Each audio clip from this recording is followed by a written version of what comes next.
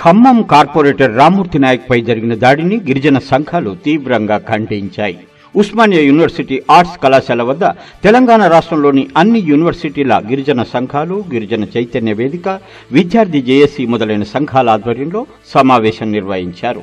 ఈ సందర్భంగా గిరిజన చైతన్య వేదిక చైర్మన్ కరాటే రాజు మాట్లాడుతూ ఖమ్మం రూరల్ మండలం కైకొండాయిగూడెంలో ఒకటవ డివిజన్ కార్పొరేటర్ ధరావత్ రామ్మూర్తి నాయక్పై జరిగిన దాడిని తీవ్రంగా ఖండించారు.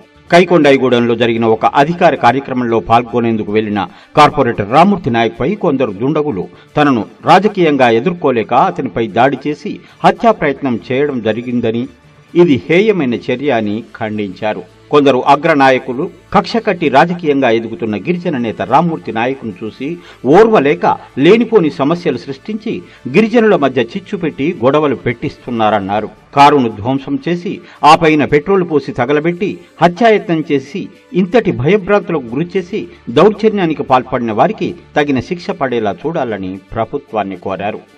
రామ్మూర్తి నాయక్కు తగిన న్యాయం జరిగేలా అభివృద్ధి కొరకు అహర్నిశలు కష్టపడుతున్న ముఖ్యమంత్రి కేసీఆర్ కేటీఆర్ దృష్టికి తీసుకెళ్తామని తెలిపారు.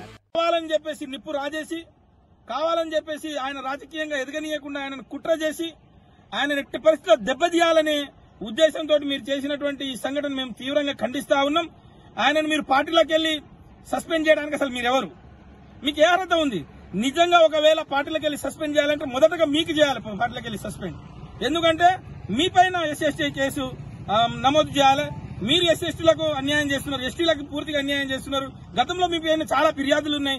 ఇప్పటికి కూడా గిరిజనుల పైన మీరు చాలా అన్యాయాలు చేస్తున్నారు కాబట్టి మీ పైన ఎస్సీ అట్రాసిటీ కేసు చేయాలి. మేము ఖచ్చితంగా గౌరవ ముఖ్యమంత్రి గారికి కేసీఆర్ గారికి కేటీఆర్ గారికి మేము ఈ దృష్టికి తీసుకెళ్తామని చెప్పేసి తెలియజేస్తూ